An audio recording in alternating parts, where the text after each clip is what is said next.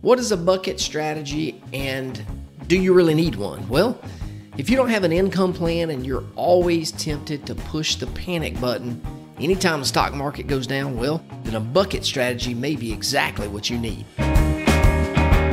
It's time for the My Retirement Clarity Podcast with Lee Perkins, financial planner and president of JL Perkins Wealth Management. Get ready for a good dose of inspiration, simplicity, implementation, and of course, clarity on how to successfully prepare for retirement and grow and preserve your wealth. Here's Ben George with Lee Perkins. Welcome into the My Retirement Clarity Podcast. I'm your host, Lee Perkins. And it's hard to believe, but we are approaching 70 episodes of the podcast, and our listening audience continues to grow every single month. So I really appreciate you listening in today. Our goal, as always, is to try to provide maximum value to our listeners and to try to give you some things that you can apply to your situation. So, I think we've got a, a really great show today because I think the topic is really relevant anytime markets are volatile, and that's certainly what's going on right now. And so I've talked about this, this in the past, but I thought I'd take some time on today's show to dig a little bit deeper into the idea of a bucket strategy. It's nothing new, and you know this strategy has been around for a while, and we've got clients who've actually been doing a bucket strategy for years. So, what is it? Well, in its simplest form, a, a bucket strategy is really nothing more than designating your money into different pools or different buckets, with each one of these buckets having a different job. Now, you can have as many buckets as you'd like to have, uh, but I don't think you need seven or eight or 10 buckets because honestly, I want your life to be more simpler in retirement and, and less complicated. And so I think at some point I'm probably going to do a video of a bucket strategy because it may make it easier for you to understand things as I describe each bucket and what you know what each bucket is for. But for simplicity purposes for the podcast today, I just want to go over a very simple three bucket strategy.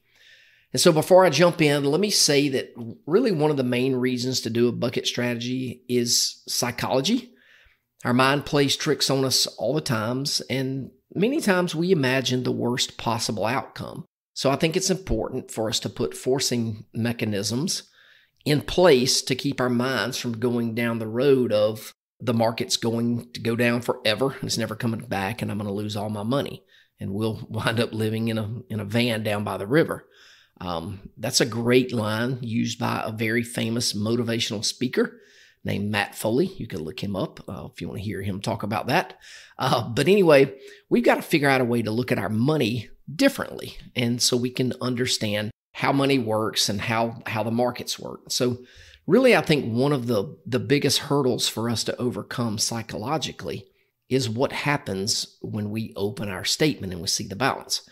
So, for most people, we open the statement and we go right to the ending balance so we can compare that to last month's balance. Were we up or were we down? And if you're like most people, that's that's really the extent of what you're looking at when you you open that statement. You know, is my balance higher or is it lower than it was last month? You know, markets have been really pretty good for a long time, so we've sort of been spoiled.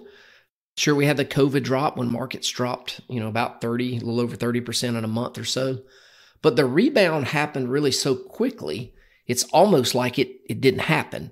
And so I would say during that time, probably what was going on, a lot of people were more worried about whether or not they were going to die or not, or they, you know, were they going to survive this whole thing than what their account balance was. And so again, the market recovered so quickly that people really didn't have time to sit around and play out the the doomsday scenarios of, of their money that much during that time. So but now we're in a little bit different period of time. And really, since the beginning of the year, when we open the statements now, the balances have likely dropped pretty consistently for a couple of months in a row. And so we start to question the overall long term plans that, that we've had in place for quite some time. So here's where I think a bucket strategy should be able to help you really worry less about things. And again, I'm just going to go over and picture, help you picture a, uh, a simple three bucket strategy.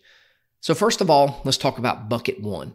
Bucket one is really a, a very important bucket. Um, and in the past, I've, I've referred to this bucket as a war chest. And it's really set up to provide you income over a, a short period of time. And for most people, it's two to three years. For some, it might be three or four years. But either way, this bucket usually contains a mixture of cash and bonds. And so, really, the sole purpose of this bucket is to provide you income for a designated period of time and whatever that time period is that you're comfortable with. This bucket is not designed to grow a whole lot. You know, if, if you've only got cash in this bucket, that's fine. It's not going to grow very much. And if you've got bonds in the bucket, that's fine too. Generally speaking, they're less volatile than stocks, and they do provide stability to a portfolio over the long term, depending on what type of bonds that you own. Uh, but again, the purpose of this bucket is to provide you income in the short term. Um, and if you only want cash in this bucket and no bonds because of what's going on with bonds and interest rates, that's fine. Um, just know that if you're drawing money out of bucket one every single month, you know at some point you're going to have to replenish uh, this bucket from somewhere else. And, and that's where buckets two and buckets three come in. So let me move on quickly to bucket two. Bucket two is set up not really for short term income or long term growth. I would say this bucket would be your, your balance bucket or your midterm income bucket. You can use this, this bucket for income from years four to eight or nine or 10. It's completely up to you. But this money is going to be invested with more market exposure, of course, than bucket one, but certainly not as much as bucket three. You know, if you're not drawing from your accounts on a regular basis for, for monthly income, then this bucket is you know, certainly going to increase or decrease during normal, normal uh, market cycles, but over time, it's going to grow. A lot of times people might design bucket two with, with a dividend focus. So the holdings in, in inside of, of this bucket in, in whatever model you choose, maybe they're designed more for, for paying you a dividend rather than just long-term growth. And, and certainly you can choose to reinvest these dividends every month or every quarter or, or whenever these dividends are paid. And this is going to allow you to buy more shares of those holdings. And of course, you can switch gears at any time and then have those dividends paid out to you rather than being reinvested. And this would really be a, a great way for you to supplement your income if bucket one runs low. Again, the choice is yours. You know, you can reinvest the dividends or you can take them as, as income. Hey folks, Lee Perkins here. If you've listened to this podcast for any amount of time, you know how much I hate taxes, and I know you probably do too. Our politicians are completely out of control. Their spending is off the chart, and you've got to be prepared for increasing taxes in the future. So, we've written a book called Defuse Seven Steps to Protecting Your 401k or IRA from the Ticking Tax Time Bomb. You're going to want to grab a copy of this book and learn how you can protect yourself. Then you'll have to decide if you want to take action right now or if you'd rather wait until the IRS changes the rules of the game. Either way, the choice is yours. To get a free copy of the book, just text the word defuse to 478 475 2050. That's D E F U S E to 478 475 2050. And we'll send you a free copy. Thanks again for listening. Now back to the show. Now I want to move on to bucket number three. Bucket three is important because this is your long term growth bucket. And, and money you put here, you're, you're giving money in this bucket permission to lose in down markets.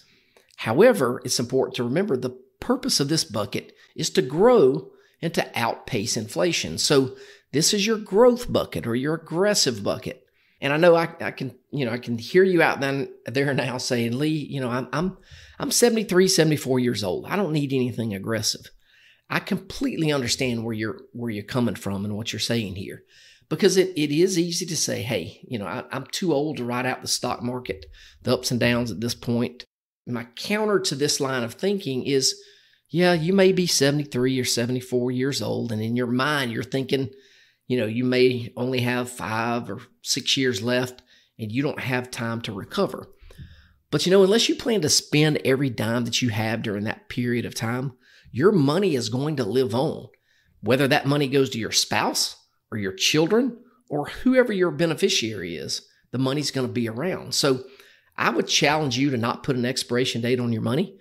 Keep that money working for you as long as you can. And, and it's like Charlie Munger said the first rule of compounding is to never interrupt it unnecessarily. And so I'm here to tell you that fear is most of the time what causes people to interrupt compound interest unnecessarily. So there it is. There's your three buckets. So let me try to put these buckets into a real world scenario. All right. So let's suppose you've got $800,000 of, of total investable assets and you need, let's say, $2,500 a month. Well, those numbers work. Plenty of money for the, the income that you need. And, and we're going to leave taxes out of this this discussion here just for simplicity. So you need $2,500 a month from the, the assets, which is $30,000 a year. You can add this to your Social Security, maybe your spouse's Social Security, or any type of pension or other income that you've got. Um, and so let's say in this scenario, you want to put three years of, of income in bucket one.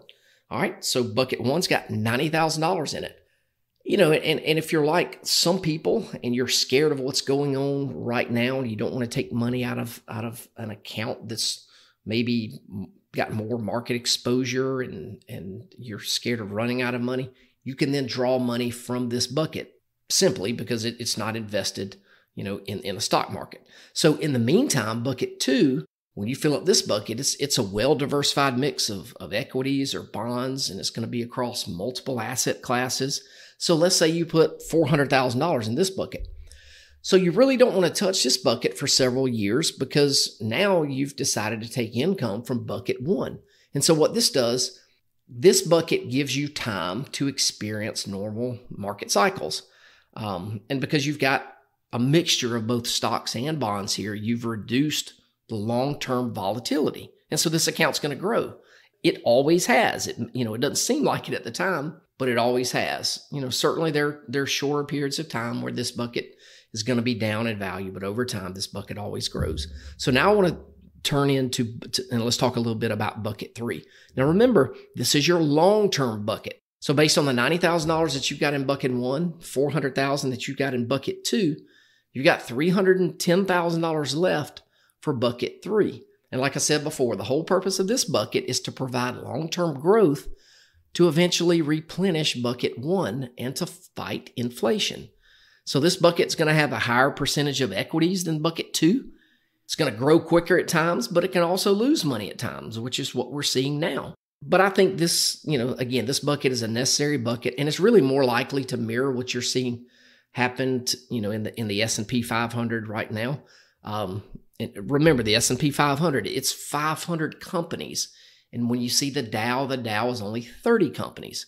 But either way, both of these, you know, both of, of these indexes are what would be bucket three type holdings.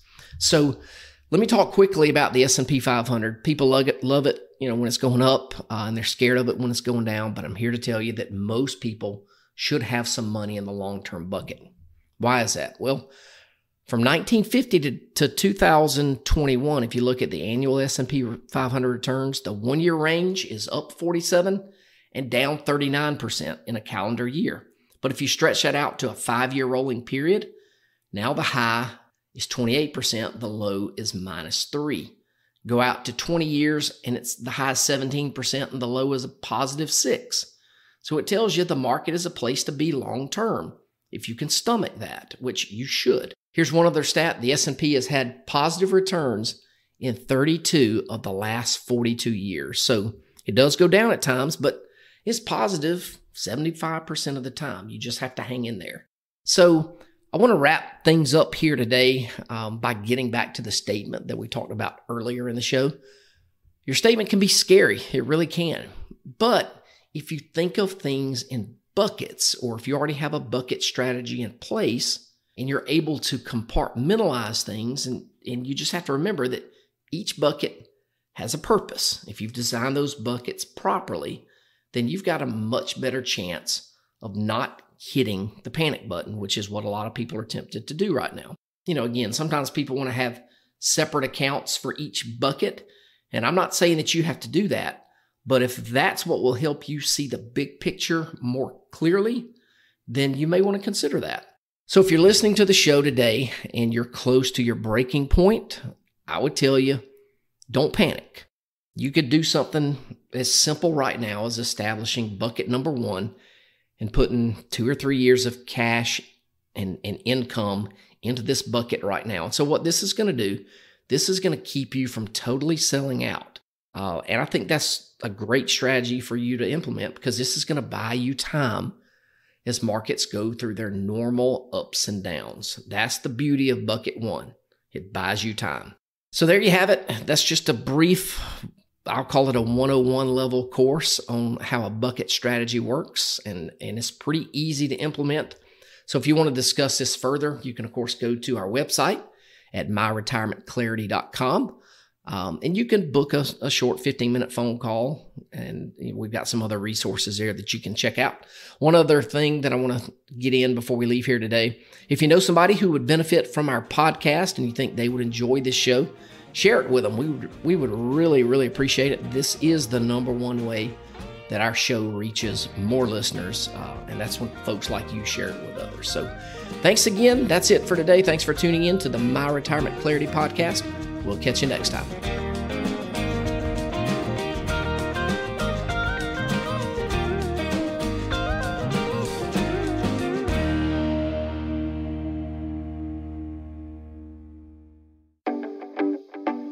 Investment advisory services are offered by JL Perkins Wealth Management, a registered investment advisor and insurance agency. Information is for illustrative purposes only and does not constitute tax, legal, or investment advice. Always consult with a qualified tax, legal, or investment professional before taking any action.